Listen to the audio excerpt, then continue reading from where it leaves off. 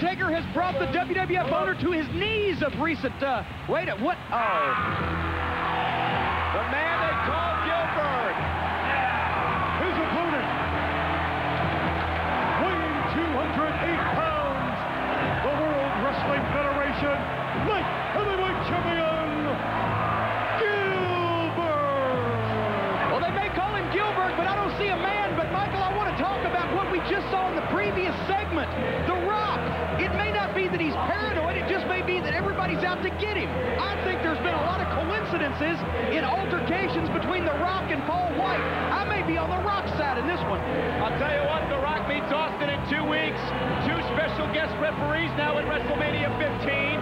Mankind and also Paul White. And as for Mankind, he defeated Stone Cold Steve Austin by virtue of that count out. Perhaps a quick count by Paul White. But we understand tomorrow night on Sunday Night Heat, 7 o'clock, 6 Central on USA, live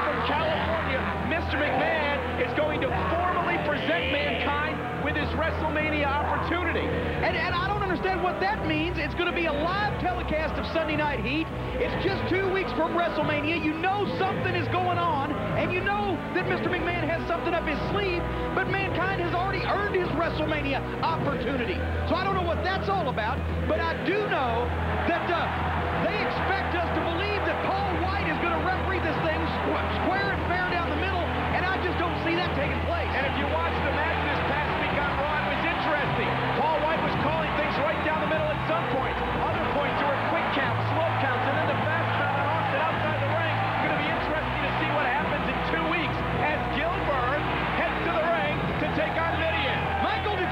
you ever wish you had a high-powered rifle here at ringside with an infrared scope? Why?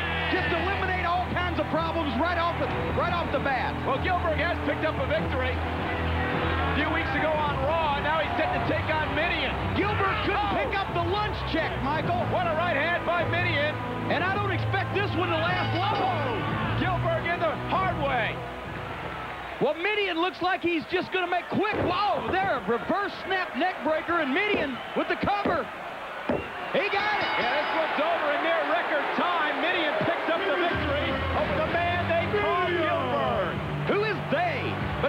The Undertaker, who meets the Big Boss Man in a Hell in a Cell match at WrestleMania, has brought Vince McMahon to his knees. The ministry has something on the owner of the WWF, and we're going to talk more about that, Michael, in the program later on. Yeah, coming up next, Jim on Shotgun